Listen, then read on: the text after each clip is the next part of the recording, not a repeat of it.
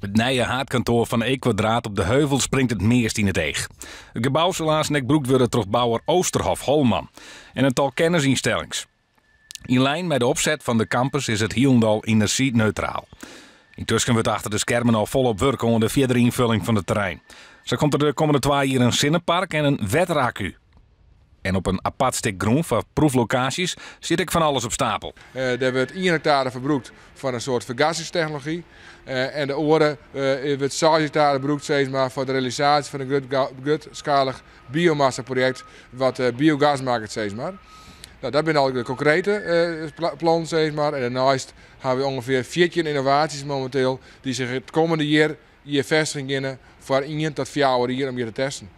De provincie wie in eerste instantie net zo happig op het hele project. Bouwen op een stad is risicovol. En waarom een nij terrein, dat er nog genoeg rond in de stad is. Maar die zwaar binnenvoort, dit is net het zafvolste bedrogen terrein. Uh, het is een energiecampus uh, met doel om in geerwerking nieuwe initiatieven op het merk van energie en dwarsemmers te realiseren.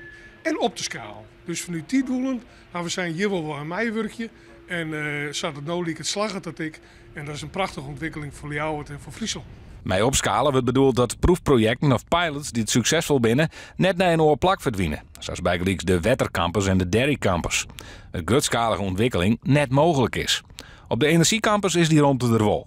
Als de proef mij een hege temperatuur vergaster slaget, zal de uitbreiding hier echt delzet worden. Dat betekent dat er uh, ongeveer 9 tot 18 installaties in 2000 2022 gebouwd worden. Die iedere goed binnen van investering van ongeveer 12 miljoen euro.